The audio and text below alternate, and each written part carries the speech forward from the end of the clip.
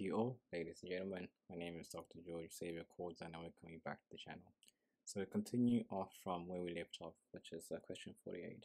So the question at hand is, what symptom is most typical for this pathology? So we have a 74-year-old patient that has been delivered to the admissions room with clinical signs of acute deep vein thrombosis.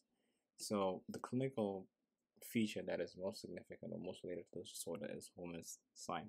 Homans' sign is basically dorsiflexion sign, which means that um, you're bending your your foot towards your shin. That's what usually produces the pain. And then the other signs that are there in the question. So Rovsing sign uh, is a sign usually seen in appendicitis, and then Courvoisier Terrier sign um, is a sign that is seen in gallbladder disorders which is basically when there's uh, a presence of a palpably enlarged gallbladder, which is non-tender, uh, which is sometimes accompanied by jaundice. Um, that means the cause is uh, unlikely to be due to, to gallstones, but it's in relation to gallbladder disorder. And then Mayo-Robson sign is uh, mostly associated with acute pancreatitis.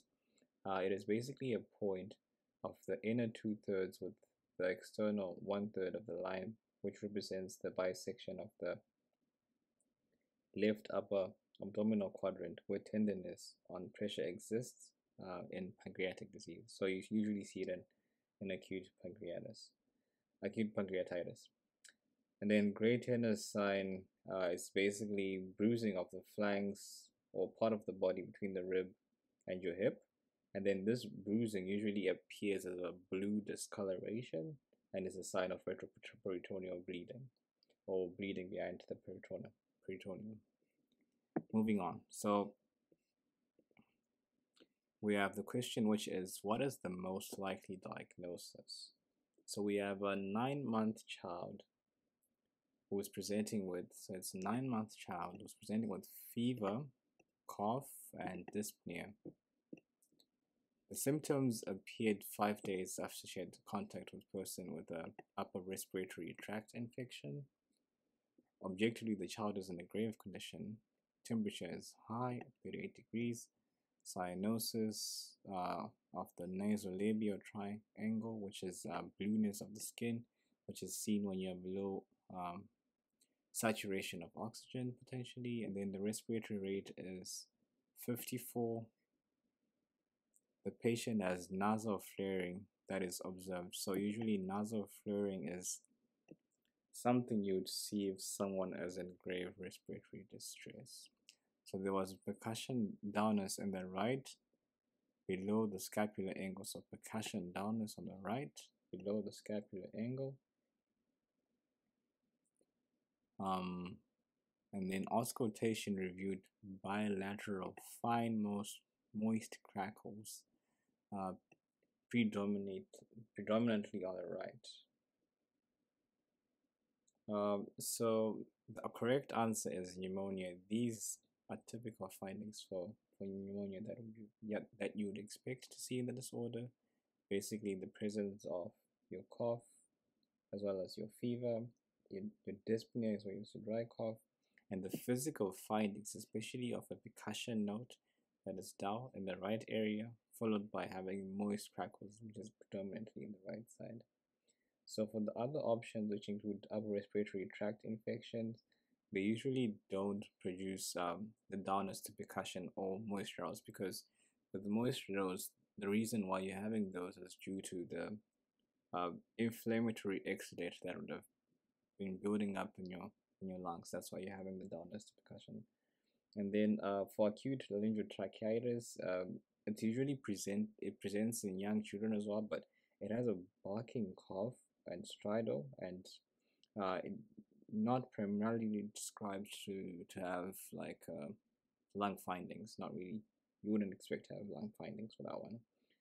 Uh, and then acute bronchitis um, is a disorder that usually affects the, the bronchioles. Yes, inflammation of the bronchioles. You might potentially have cough, but really, do you have any uh, consolidation of the lungs, which is specific for pneumonia? And then acute bronchiolitis uh, also affects infants. characterized by difficulty in breathing and sometimes wheezing, um, but you don't really have uh, consolidation of the lung as you would expect in pneumonia. All right, so moving on to the next question, which is question 50. So the question at hand is what what diagnosis was most likely to be stated in the referral? So we have a mother of a three-month child who came to a family doctor with complaints of a child being physically underdeveloped. So the three-month child complaining of physical underdevelopment and suffering from cough attacks as well as dyspnea. So in the anamnesis, which is the history, uh, the child is a result of a second term, second full term pregnancy with risk of miscarriage. So the first child died of of pulmonary pathology at the age of four months, got a mother. Body mass is 2.5 grams or 2,500 grams, which is fairly on the lower spectrum, so that's low weight. The cough attacks have been observed from the first days of life, so cough attacks being observed from first days of life. Twice the child was treated for bronchitis. So twice the child was treated for bronchitis. Um, considering the severity of the child's condition, the doctor made a referral to hospital, made the referral for hospitalization. So from this, um, this is a classic case of cystic fibrosis, mainly because the child is presenting with a lot of cough attacks and is also underdeveloped for someone who's three months of age. Um, and the patient has also had a history of being infected twice by, by bronchitis. And the mother mentioned um, a history of having a child uh, who died of a pulmonary pathology, um, which could also point towards cystic fibrosis because it's a inheritable disorder. So cystic fibrosis is uh, a little bit more about the disorder. It's um, autosomal recessive, so it's caused by the presence of mutations in both your copies um, of your CFTR protein gene, uh, and those single working copy uh, carriers and otherwise mostly normal. But when you have problems with the with the gene or when you have cystic fibrosis, uh, it affects the way you produce your sweat, digestive fluids, um, as well as mucous membranes. So this is why they usually do a sweat test and sometimes genetic test. Uh, usually screening is done uh, in some places, in some other countries. Uh, I'm not really sure about the screening schedule in Ukraine, but it should be done in Ukraine as well. Uh, so because of the problems with the production of sweats and digestive fluid uh, as well as mucus, so they usually have peak secretions, which is why they usually end up having cough. Um, and then they also have salty tasting skin, poor growth, and poor weight despite having normal intake of food. Because remember, you have your problems with digestive uh, enzymes as well. So you're not going to be, or the child is not going to be able to, to digest uh, the food very well. That's why not gaining much weight. So they, because of the mucus buildup, they're mostly prone to having a lot of respiratory infections, which is why we, we saw that this child had um, acute bronchitis already twice uh, at a young age. Um, I guess, um, yeah, I guess uh, it's, a single gene disorder. Yep, I guess that's that's all I can remember for now. Uh, and then for the other ones, so acute obstructive bronchitis um, typically doesn't have a family history to it, and usually there might have been previous contact with someone who was um, was infected, but not like a heritable disorder, and doesn't usually end up having chronic symptoms uh, if you're looking at children that have developed disorder.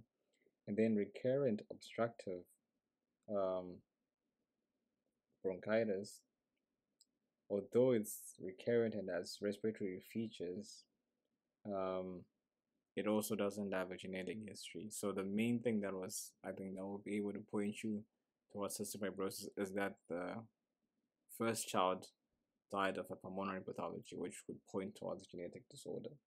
And then pertussis, um, usually has severe coughing fits uh, and also doesn't match the history, the family history that we had. And then acute pneumonia is um, similar to the explanation that we I gave you in the previous question, so doesn't match with this with this diagnosis. So we move on to question 51. So question 51 is asking what is the most likely complication that the patient is having? So you have a 46 year old man who tells you that he has swollen legs, weakness, and sensation of fullness and heaviness in the right subcostal area. So it is the first occurrence of these signs in the patient. The patient has a 20 year long history of rheumatoid arthritis. The liver, the spleen are enlarged and dense, so enlargement of the liver. So there's splenomegaly. Uh, blood creatinine is 0.23 millimoles, proteinemia of 68 grams, cholesterol of 4.2, um, urine specific gravity of 1012, and then proteinuria of 3.3, um, and then isolated waxy cylinders, leached erythrocytes uh, on vision, and then leukocytes uh, 5 to 6 within the visual field. So because of the so the options we have uh, renal amyloidosis. So, because of the patient's presenting signs of leg swelling, weakness, um, sensation of heaviness, um, and the different findings, as well as proteinuria, uh, especially proteinuria, these are pointing towards uh, nephrotic syndrome. And then you would also align it with amyloidosis because when you have a long-standing inflammatory disorder such as rheumatoid arthritis, you are more prone to developing um, amyloidosis, which is basically uh, deposition of protein within the different organs. And then you also have enlargement of these other organs as well. So a little bit about um, secondary amyloidosis.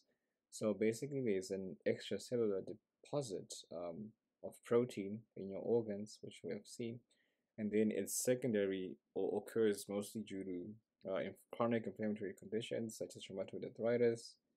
Um, it can be chronic infections as well, or inflammatory bowel disease, malignancy, also very common with malignancy as well. And then the presentation can vary, but sometimes patients can present with uh, signs of proteinuria, such as we're seeing in this patient. In some cases, because of the deposition in different organs, you might have heart failure if it deposited an organ in the, in the heart, hepatomegaly or hepatosplenomegaly,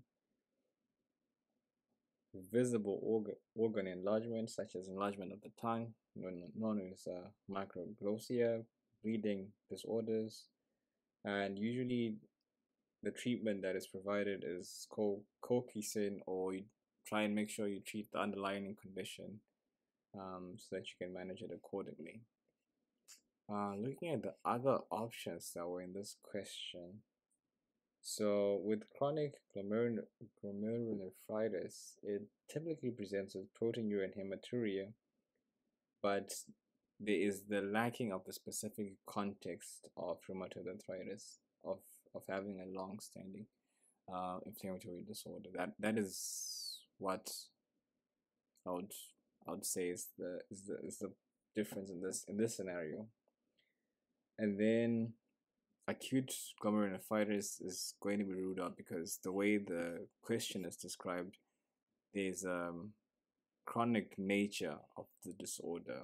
That's why you you then rule out um acute glomerulonephritis and then heart failure um usually with heart failure yes you can get swelling uh, of the extremities but you don't usually get proteinuria that's why that one was ruled out and then with uh, chronic pyelonephritis which usually involves recurrent kidney infections um, but it, it also is not really connected uh, to having a long-standing rheumatoid arthritis. I, I would say, um, for the sake of Krok, just try and connect having a long-standing inflammatory disorder to uh, renal amyloidosis and having the presence of uh, proteinuria. All right, moving on to the next question. So the question at hand is, what is the most likely diagnosis? So we have a 23-year-old man who's been who had taken one gram of aspirin to treat an acute respiratory infection. So after that, he ended up developing an asthmatic fit with labored expiration that was stopped by the introduction of amin aminophylline. The patient has no medical history of allergies. The patient has undergone two surgeries for nasal polyps. Uh, what is the most likely diagnosis? So the most likely diagnosis is aspirin-induced asthma. So the reason why that's the most likely diagnosis is because the patient developed an asthmatic fit following um, intake of aspirin. That's one. That's the first thing. And then the second thing is that the patient has a history of having nasal polyps.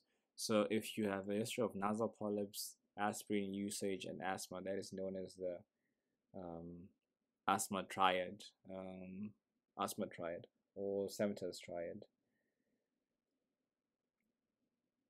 And then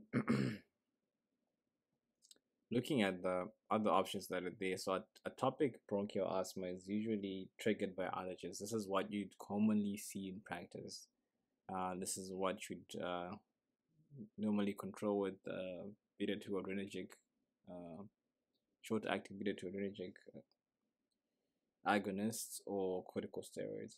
And then um, infectious allergic bronchial asthma triggered by infections, not really aspirin. Exercise induced, triggered by physical activity, not really. Um, aspirin induced. Um, yeah, so basically the, the key thing to remember for this question is um, aspirin, nasal polyps, and presence of asthma. So I think this one was easier. And then uh, next question is, what is the most likely diagnosis? So we have a 50 year old man uh, who has been delivered. Um, so it's a 50 year old man.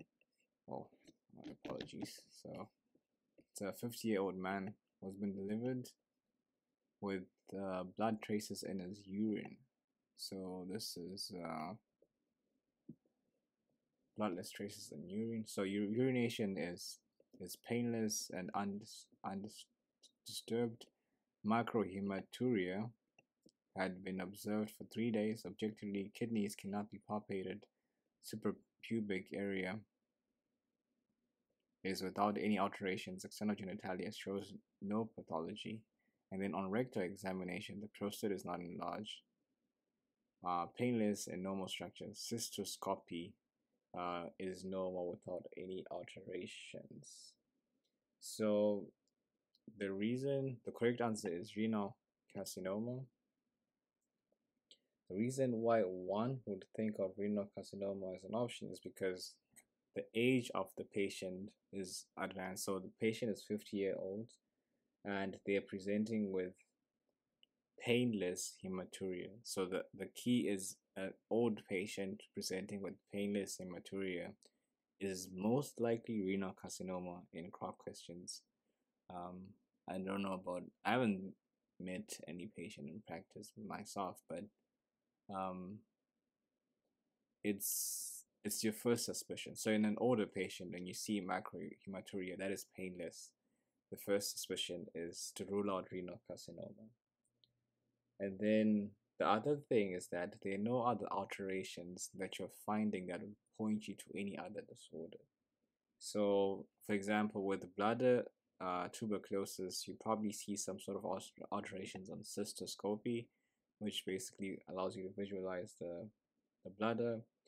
Um, same with so varicocele um, usually affect uh, the scrotum veins.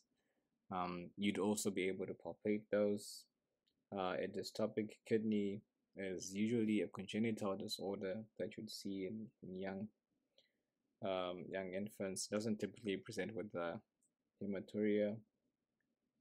Um, and then necrotic papillitis, this one I'm not really sure about, but um, but yeah, the key is remembering that the patient that is of advanced age with macrohematuria is most likely going to be having a renal carcinoma.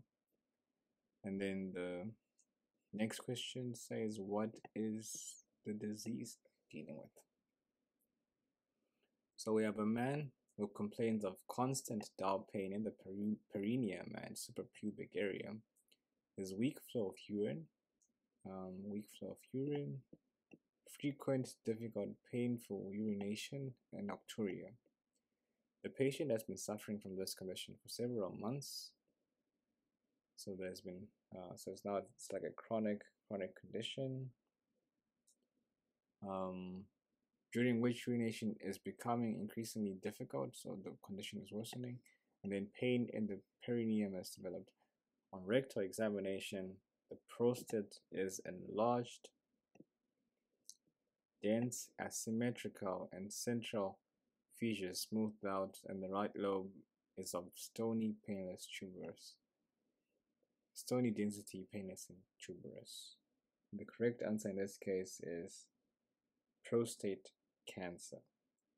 So the patient is presenting with classic signs of difficult in urination, weak painful, weak painful flow for several months, which are becoming worse.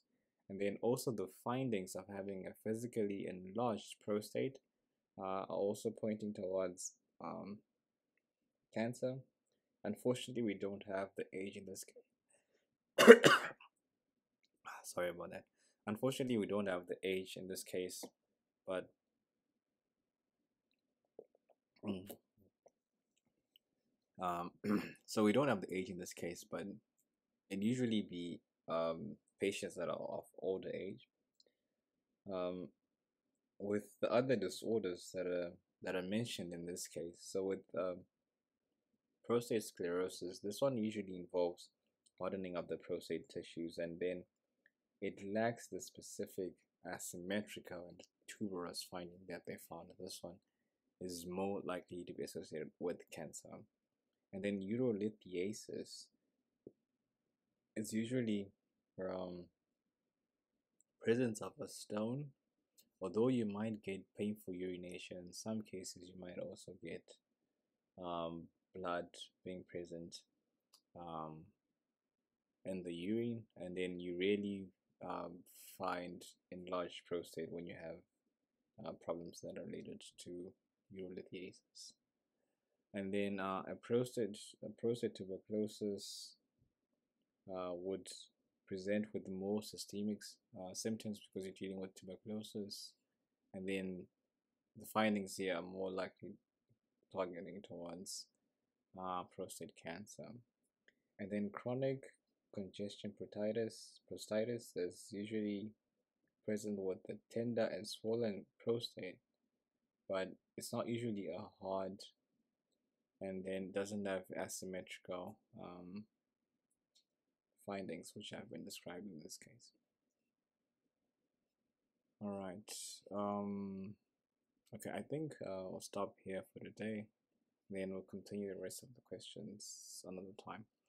Thank you very much for your attention. Hope you guys enjoyed the videos. Good luck.